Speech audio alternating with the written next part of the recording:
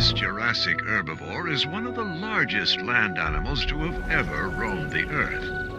Apatosaurus originally lived in North America, alongside other sauropods, such as Diplodocus and Camarasaurus. Apatosaurus feeds on plants and tree leaves, swallowing large portions without even chewing. Because its jaws lack molars, it relies on ingested stones to aid its digestion. Just like many of our modern birds.